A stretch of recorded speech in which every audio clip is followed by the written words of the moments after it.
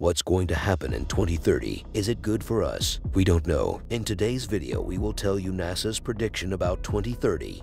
So, let's begin.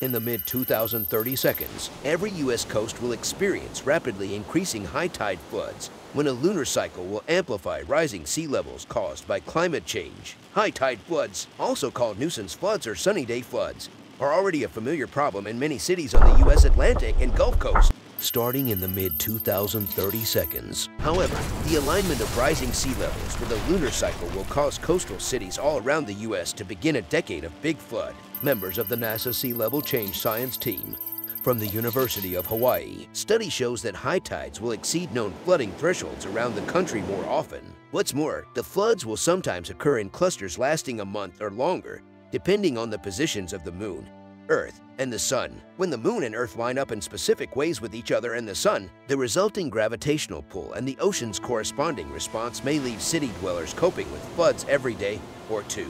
NASA Administrator Bill Nelson, low-lying areas near sea level are increasingly at risk and suffering due to the increased flooding and it will only get worse. The combination of the moon's gravitational pulls, rising sea levels, and climate change will continue to exacerbate coastal flooding on our coastlines and across the world. NASA's Sea Level Change Team is providing crucial information so that we can plan, protect, and prevent damage to the environment and people's livelihoods affected by flooding.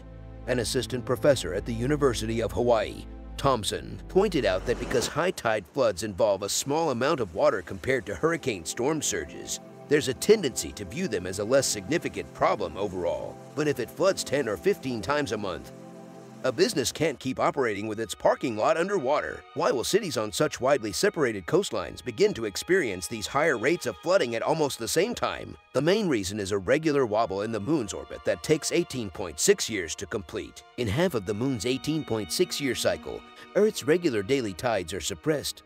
High tides are lower than normal, and low tides are higher than normal. In the other half of the cycle, tides are amplified. High tides get higher, and low tides get lower. Global sea level rise pushes high tides in only one direction, higher. So half of the 18.6-year lunar cycle counteracts the effect of sea level rise on high tides, and the other half increases the effect. The cycle will come around to amplify tides in the mid-2030 seconds. Global sea level rise will have been at work for another decade. The higher seas, amplified by the lunar cycle, will cause a leap in flood numbers on almost all U.S mainland coastlines, Hawaii, and Guam. The researchers uncovered these tipping points in flood numbers by studying 89 tide gauge locations in every coastal U.S. state and territory but Alaska, they created a new statistical framework that mapped NOAA's widely used sea level rise scenarios and flooding thresholds. The number of times those thresholds have been exceeded annually, astronomical cycles, and statistical representations of other processes, such as El Nino events, that are known to affect tides. They projected results to 2080. Ben Hamlington of NASA's Jet Propulsion Laboratory in Southern California. He notes that the findings of the new study are a vital resource for coastal urban planners who may be focused on preparing for extreme events rather than more high tide floods. A high tide flood tool developed by Thompson already exists on the NASA Team Sea Level portal a resource for decision makers and the general public. The flood tool will be updated in the near future with the findings from this study. That's it for today's video. Thank you for watching.